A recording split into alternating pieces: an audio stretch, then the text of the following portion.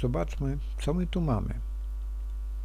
Mamy takiego ludzika, akrobatę. Jeżeli my tym ludzikiem poruszymy, okazuje się, że ten ludzik nie ma zamiaru się zatrzymać.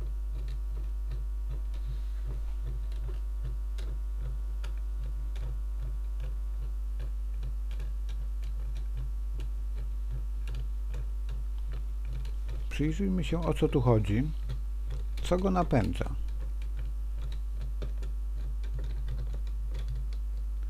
Sam ludzik ma tutaj magnesik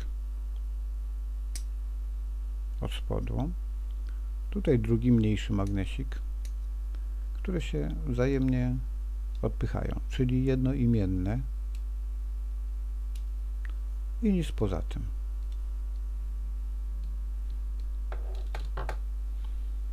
Można sądzić, że cały napęd mieści się tu. No proszę. Rozbierzmy to i zobaczmy, co jest tam w środku. Jak to działa.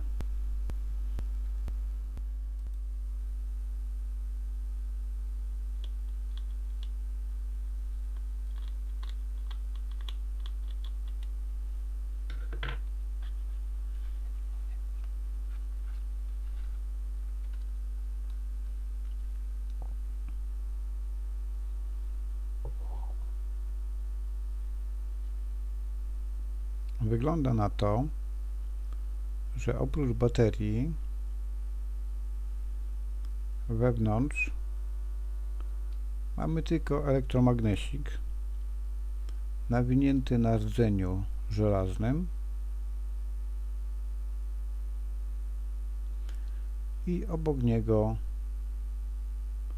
tranzystor.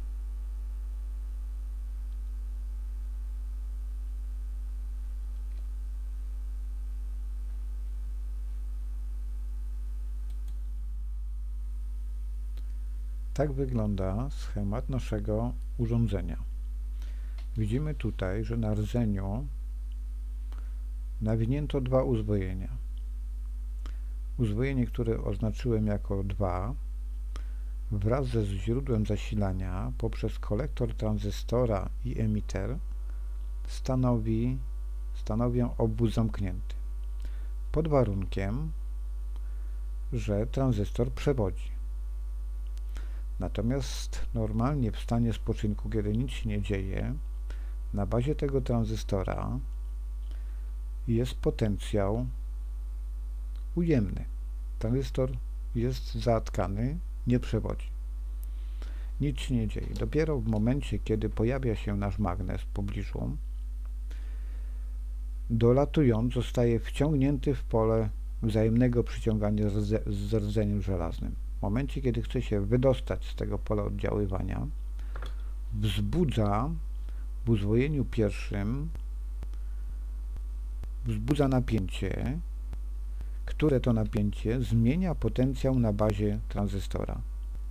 Przesterowuje, wysterowuje tranzystor, który zaczyna przewodzić i zamyka się obwód z uzwojeniem numer 2. To powoduje powstanie siły elektromagnetycznej, która pomaga wyrwać się z pola oddziaływania tego rdzenia, czyli zostaje impuls wypychający.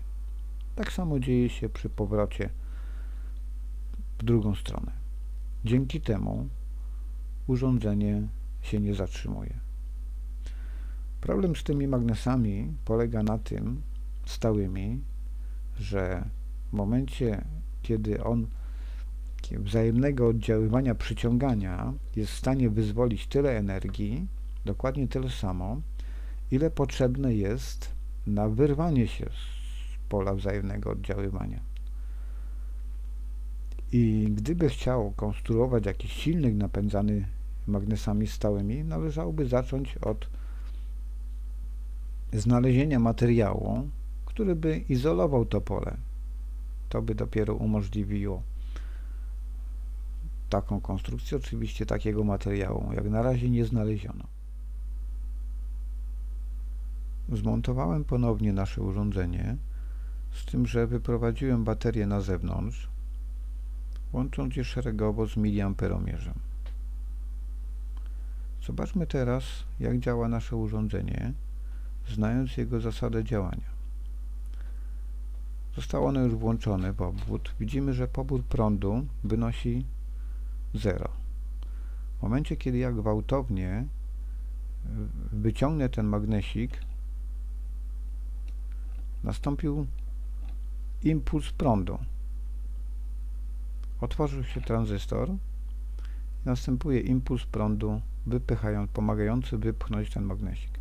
Oczywiście dzieje się to w tej chwili w sposób płynny. Pobór prądu mamy około 10 mA, ponieważ pełny zakres to jest 12.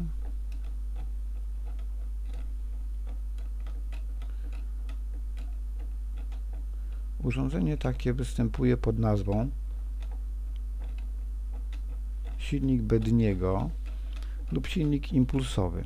Gdybyśmy zamiast tego kiwadełka wstawili tam tarczę z magnesikami i wprawili ją w ruch, tarcza ta by się obracała, ponieważ każde zbliżenie magnesu powoduje wyzwolenie impulsu popychającego.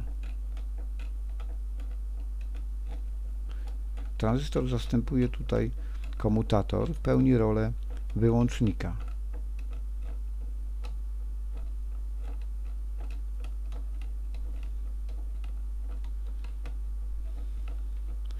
Jeżeli wyłączymy napięcie,